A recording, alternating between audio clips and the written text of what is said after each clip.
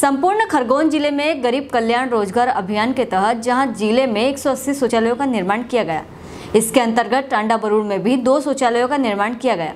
इसके तहत आज जिला panchayat CEO Gaurav Venal, additional CEO Purushottam Patidar और जनपद पंचायत सीईओ राजेंद्र शर्मा द्वारा शौचालयों का अवलोकन किया गया। साथ ही ग्राम के करीब स्वीपर दिलावर खान द्वारा शौचालय का उद्घाटन करवाकर सीईओ साहब ने अपनी उदारता व मानवता का परिचय दिया। महज तीन तीन लाख रुपए में बनने वाले इन शौचालयों का निर्माण प्रशंसनीय है।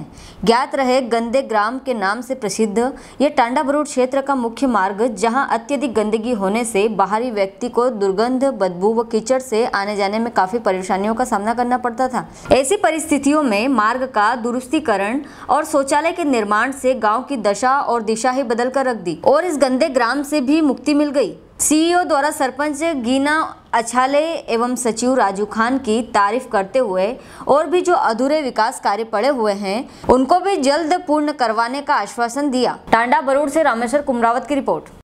बरूर जो कि गंदे गाँव के नाम से प्रसिद्ध था, और आज यहाँ पर स्वच्छता से साफ़ सफ़ाई और शौचालय बनकर इस गंदगी से मुक्ति मिली है तो इस संबंध में क्या कहेंगे? ये गरीब कल्याण रोज़गार अभियान के तहत पूरे ज़िले में 180 अ, 200 ये सामुदायिक शौचालय बनाए जा रहे हैं। उसमें से एक बरूड़ में ही बनाया गया। तो इसमें बरूड़ में बहुत अच्छा काम हुआ है। पूरी टीम ने एसबीएम की टीम ने बहुत अच्छा काम किया है।